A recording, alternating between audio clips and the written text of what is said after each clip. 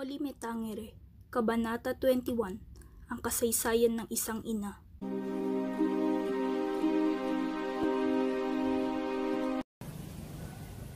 Pauwi si Sisa. Paano ko na maliligtas ang aking anak na si Crispin at Basilio? Tindi ang bumabagabag sa kanyang isip. Tumindi ang sikdo ng kanyang dibdib. Nang papalapit na siya sa kanyang bahay, ay natanaw niya ang dalawang sibil na papaalis na. Saglit, nawala ang kaba ng kanyang dibdib. Hindi kasama ng mga sibil ang isa man sa kanyang anak. Gayunman, sa sumunod na sandali, muling sinakmal ng matinding pangamba si Sisa. Nang makasalubong niya ang dalawang sibil, pilit na tinatanong siya kung saan niya di umano itinago ang dalawang onsang ninakaw ng kanyang anak. Pilit na pinaamin din siya tungkol sa paratang ng kura. Kahit na magmakaawa si Sisa, hindi rin pinakinggan ng kanyang pangangatwiran, hindi siya pinaniwalaan ng mga sibil. At sa halip, pakaladkad na sinama siya sa kwartel. Saan mo tinago ang onsa ng iyong anak? Parang awa niyo na po. Hindi po magnanakaw ang aking anak. Parang awa niyo na po. Halika dito, sumama sa aking alpel. Muling nagsumamo si Sisa, pero mistulang bingi ang kanyang mga kausap. Pinakiusap ni Sisa na payagan siyang mauna ng ilang hakbang sa mga sibil habang sila ay naglalakad patungong kwartel kapag sila ay nasa kabayanan na.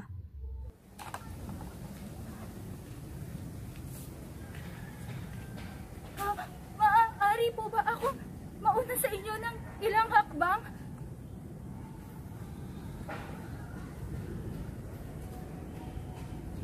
Pagdating nila sa bayan, tiyempong kakatapos pa lamang ng misa. Halos malusaw sa kahihiyan si Sisa. Kaagad na ipinasok siya sa kwartel, nagsusumiksik siyang parang daga sa isang sulok. Nanlilimahid at iisa ang kanyang damit. Ang buhok naman ay daig pa ang sinabungkay na dayami. Kusot-kusot ito. Ang kanyang isip ay parang ibig ng takasan ng katinuan. Ka sa hotel.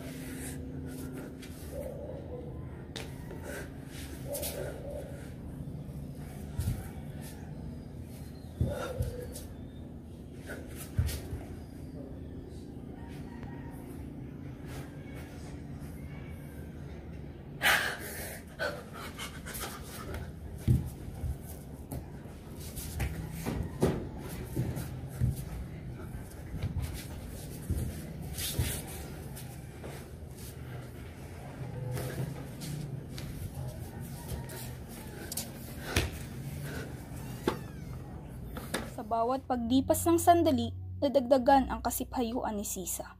Magtatanghali, nabagabag ang damdamin ni ang Alperes. Iniutos na palayain na si Sisa. Ngunit hinang-hina na siya. May dalawang oras din siyang nakabalandra sa isang sulok. Pinag-uutos ko. Napalayain na si Sisa. Painot-inot na naglalakad si Sisa hanggang sa muli siyang makarating sa kanyang bahay. Dagling umakyat siya sa kabahayan. Tinawag ang pangalan ng mga anak, paulit-ulit parang sirang plaka. Ngunit hindi niya ito makita. Kahit na ano pa ang gawin niya. Tinungo niya ang gulod at sa may gilid ng bangin, wala ang kanyang hinahanap. Patakbo siyang bumalik sa bahay. Crispin! Basilio! Ang mga anak ko! Crispin! Basilio! Ang anak ko! Crispin! Basilio! Asan na ba kayo? Crispin? Basilio?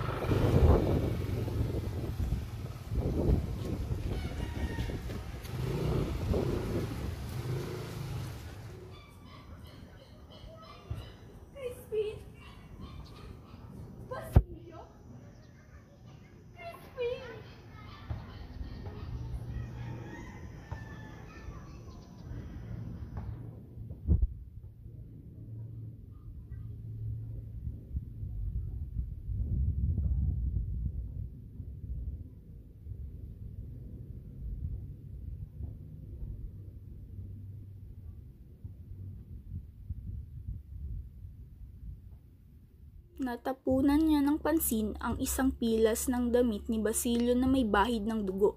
Hawak ang damit, pumanaog siya ng bahay at tiningnan sa sikat ng araw ang pilas ng damit na nababahiran ng dugo. Nilulukob ng matinding nerbiyos ang buong katawan. Ano na ang nangyari sa kanyang mga anak? Hindi madulumat ang nararamdam niyang kasiphayuan.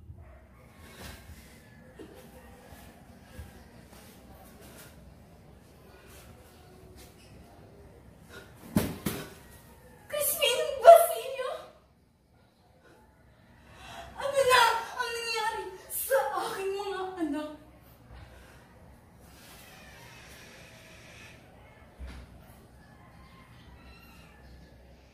Naglakad-lakad siya kasabay ng pasaglit-saglit na pasigaw ng malakas. Ang banta ng pagkabaliw ay unti-unting lumalamon sa kanyang buong pagkatao.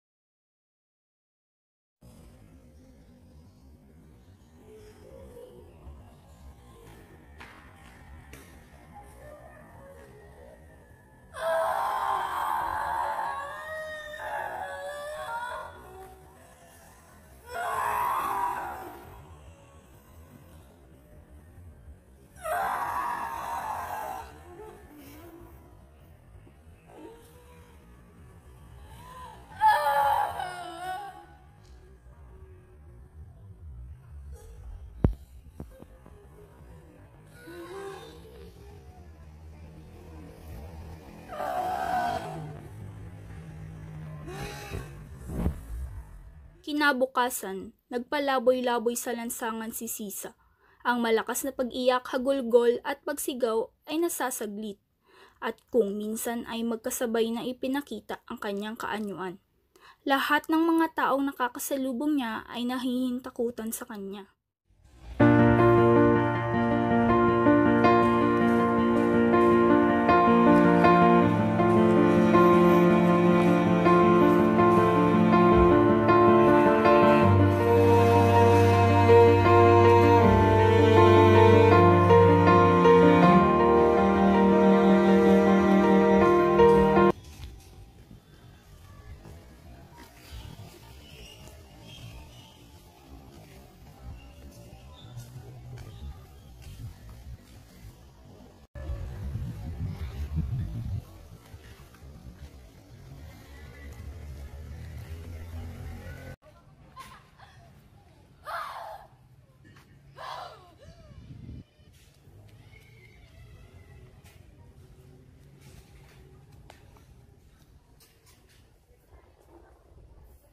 negosyo, iba para iba. iba.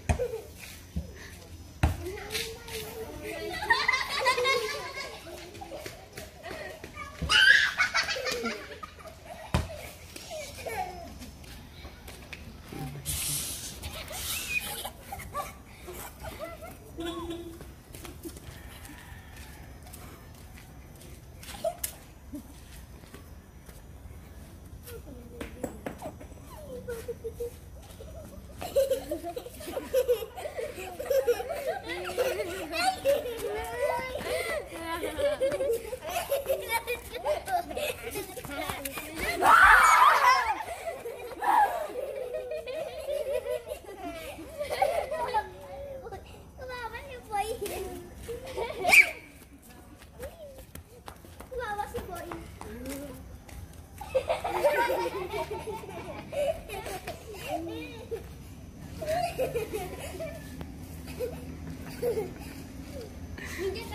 Kawawa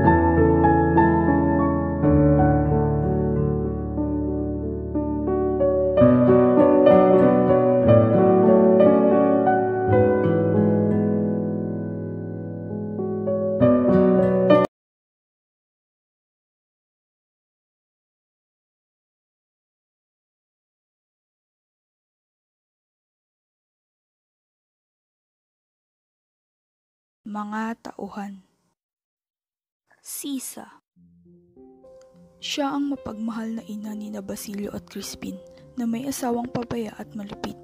Siya rin ay isang ina na walang nalalaman kundi umibig at umiyak lamang. Pinapanood niya ang kanyang asawa at nagpapasakit alang-ala sa mga minamahal niyang anak.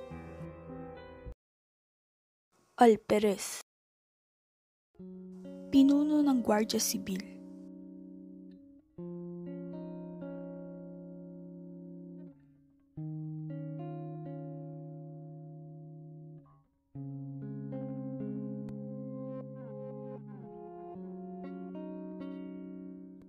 Doon nagtatapos ang Noli Me Tangere, Kabanata 21, ang kasaysayan ng isang ina. Our shining